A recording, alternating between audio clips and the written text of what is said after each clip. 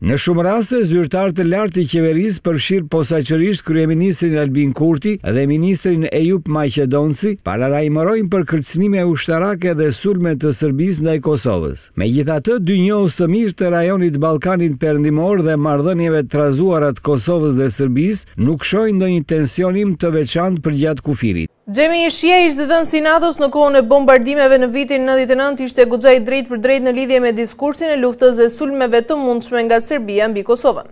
Për Shi, një figurë e njohur në Kosovë, nuk është në rregull të flitet për kërcënime ushtarake. Madje ai ka kërkuar që të ndalojmë së foluri për kërcënime dhe të kthehemi në tryezën e bisedimeve. Nuk shoh ndonjë tensionim të veçantë në kufi. Serbia nuk i ka shtuar trupat e saj atje. KFOR po ashtu ka rritur prani në veri pas sulmit në Banjskë. Pra marrëveshjet e sigurisë janë të qarta. Unë mendoj se duhet të ndalojmë së foluri për kërcënime, si dhe të kthehemi në tryezën e dialogut, ka theksuar Shi. Edhe Marko Prelec, hulumtues në Grupin Ndërkombëtar të Krizave, është në të njëjtën linjë argumentimi. Sipas tij, deklaratat e Kurtit janë pjesë për të fituar simpatinë e ndërkombëtarëve dhe për Kurtin, çfarëdo që mund të bëjë për t'u rreshtuar me Perëndimin, edhe për ta nxjerrë Serbinë si pro-ruse duket se ka kuptim, deklaroi hulumtuesi Prelec.